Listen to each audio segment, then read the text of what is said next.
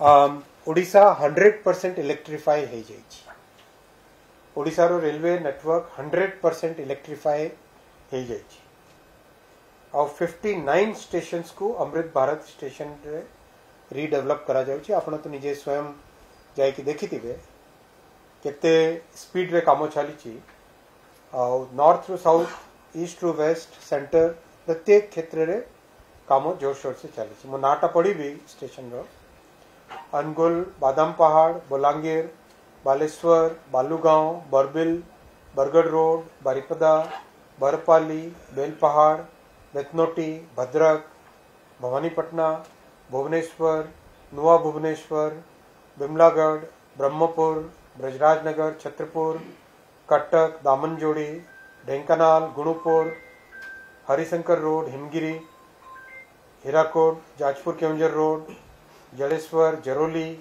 की Jeypore, Jharsuguda junction, Jharsuguda road Kantabanji Kendugarh Kendujhargarh Kesinga, Khariar road, Khurda road junction, Koraput junction, Lingaraj temple road, Mancheswar, Meramandali, Muniguda, Panposh, Paradip, Paralakhemundi, Puri Raghunathpuri Raghunathpur Rairakhol Rairangpur, Rajgangpur, Raigarh, राउरकिला साखी Gopal Sambalpur Sambalpur city, सोरो, Talcher Talcher road और Titlagarh junction.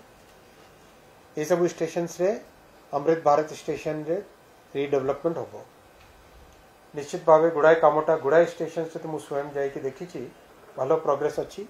आउ जो कम master plan तैयारी हो सब कम खूब शीघ्र आरंभ हो ରେକର୍ଡ ମାତ୍ରାରେ ରେକର୍ଡ ସଂଖ୍ୟାରେ ଫ୍ଲାଏଓଭର ଫ୍ଲାଏଓଭର ଆଉ ଅଣ୍ଡରପାସ୍ କରାହେଇଛି ଦୁଇ ହଜାର ଚଉଦରୁ ଫୋର୍ ହଣ୍ଡ୍ରେଡ୍ ଟ୍ୱେଣ୍ଟି ସେଭେନ୍ ଚାରିଶହ ସତେଇଶ ଫ୍ଲାଏଓଭର ଆଉ ଅଣ୍ଡରପାସେସ୍ ତିଆରି କରାଯାଇଛି ଏହି ଭିତରେ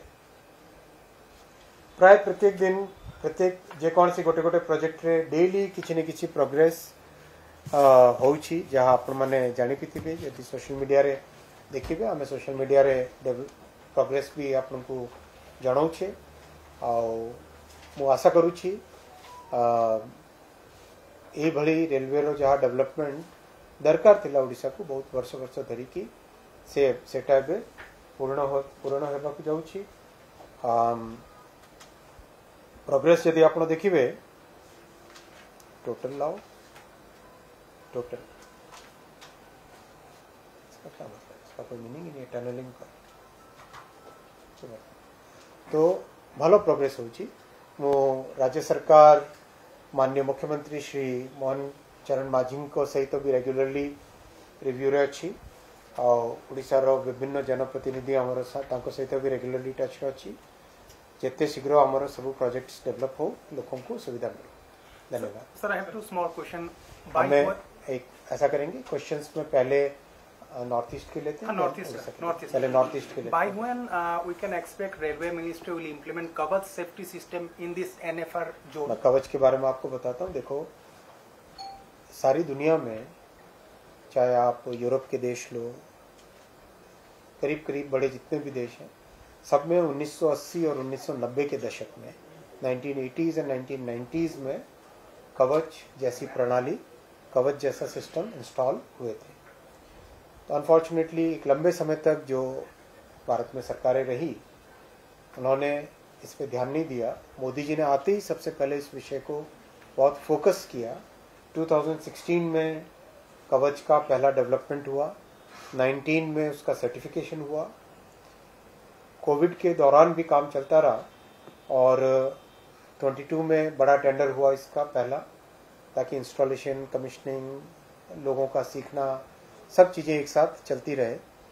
और अभी लास्ट वीक में कवच 4.0 यानी कवच का वर्जन 4.0 वो अप्रूव हुआ। देश का नेटवर्क बहुत ही डाइवर्स नेटवर्क है। नॉर्थ ईस्ट में जो कंडीशंस है, वो कंडीशंस यूनिक है। साउथ में कंडीशन है, वो यूनिक है। डेजर्ट एरियाज़ में जाओ अलग कंडीशंस होती है तो इन सब कंडीशंस को ध्यान में रखते हुए जो भी सिस्टम बने that system should be capable of catering to every situation. So Kavach 4.0 design is the design which which takes into account all the different scenarios in the country. That is done, and it's a very remarkable and a major milestone for our railway network. It's a very big development जदि आपंक आम भिडी भल लगा तेब आम चेल्क को like share और subscribe करने को जमा भी बुलां नहीं।